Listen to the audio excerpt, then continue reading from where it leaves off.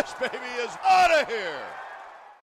Wacha throws. Now the stretch. Here it comes. There's a long tag. It's going to be, I believe. Swinging. There's a drive. Deep into right field. Way back there. The Giants win the pennant. The Giants win the pennant. The Giants win the pennant. Goodbye! A home run for the game and for the pennant.